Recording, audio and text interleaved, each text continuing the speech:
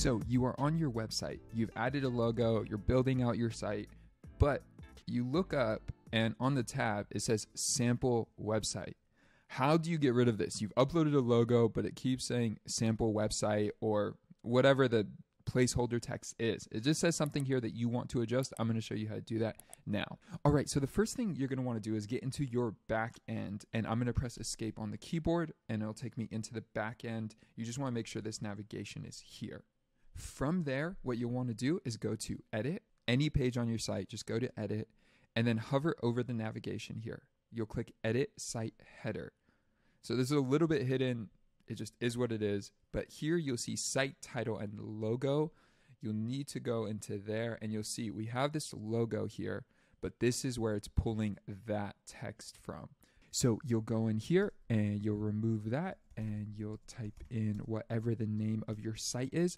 I keep it simple and brief for SEO purposes. You could add more to it within the SEO tab under marketing SEO. But for this, you just want to add the site title, your business name. Boom, and you are good to go. So you'll go in here, you'll hit save, give it a moment to refresh, and you'll see there as it loaded, it changed the name of the page. And if you're looking to add a little bit more content to this for SEO purposes, go to the marketing tab. Let me show you now. You'll go to marketing and then you'll click on SEO.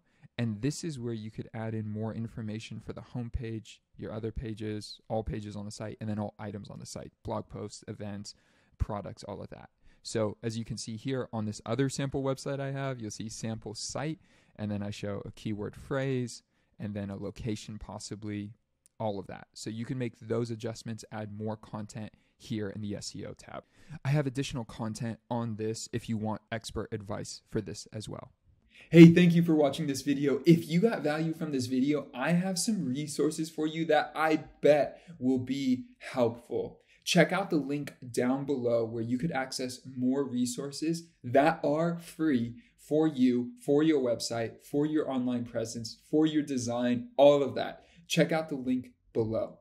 With that, if you got value from this video, let me know by hitting that like button. When you hit the like button, it tells the YouTube algorithm some important information, but it also tells me that you got value from this video. And if you want more content like this, please subscribe. When you subscribe, you'll make sure you get updated every single week. We publish a new video every single Friday. So when you hit that subscribe button, you will be notified. And with that, have a great day wherever you are in the world. And I'll see you guys in the next video.